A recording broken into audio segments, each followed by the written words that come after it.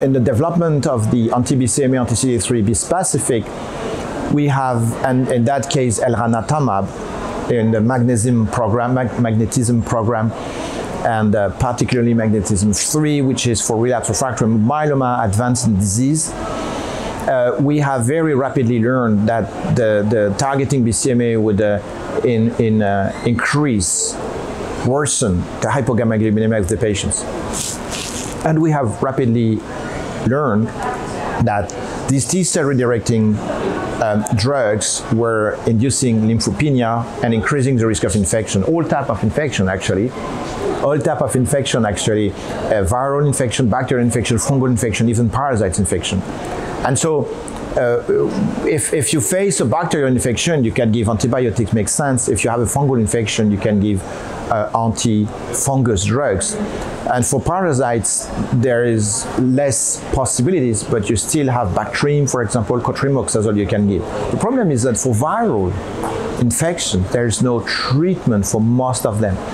And so we have started to think that potentially, similarly to what has been learned and done in the allogeneic transplantation setting, you could uh, give, you could try to see if, if correcting hypogammaglobulinemia would improve uh, the risk, limit the risk, reduce the severity, and the incidence of this infection. Number one. Number two, uh, because here we talk about immunoglobulin replacement, but maybe spacing out the injections, helping to recover the lymphopenia.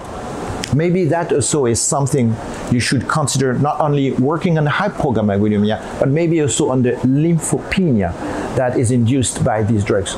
So working on the hypogammaglobulinemia, there has been uh, now quite a, quite a great experience on, um, on giving IGIV monthly at 0.2, 0.4 milligram per kg, and it seems to be very, very effective actually. Uh, at least if you give the bispecific anti-BCMA anti-CD3 such as elranatamab, a single agent. Uh, with the combinations, uh, and so MagnetisMM 3 was single agent.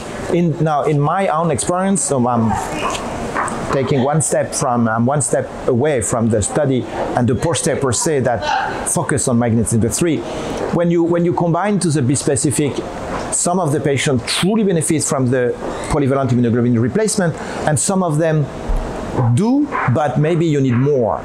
So so again, the the, the take home message here is that um, probably all the patients on uh, elranatamab, anti-BCMA, anti-CD3 bispecifics need to have very rapidly an IG replacement and the hypogammaglobulinemia being corrected or taken care of. Uh, and, and the next question, maybe for next year, the next question will be, and then uh, do you continue constantly or can you stop, monitor, and when the patient becomes again hypogammaglobulinemic, you would reinduce, you restart the treatment. Some of the centers look at the IgG value below 400. Some of the people systematically stop the immunoglobulin replacement and monitor I don't know who's right or wrong. The, the study here didn't look at that, could not look at that, but, uh, but that's one of the questions you will still need to have to answer.